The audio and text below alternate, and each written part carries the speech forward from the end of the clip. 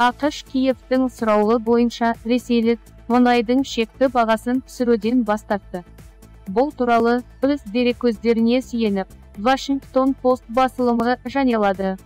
Қазіргі уақытта ресейдің қара алтыны барреліне 60 доллардан сатылып жатыр. Алайда украина оны екі есеге дейін арзандатуды сұраған.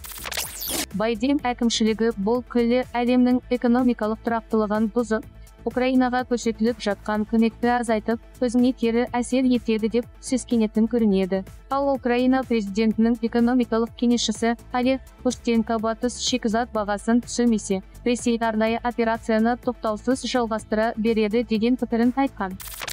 Айта кетейік 2022 жылдың желтоқсанында еуроодақ ресейлік мұнай импортына эмбарго енгізіп шекті бағасын 60 долларға теңестірді.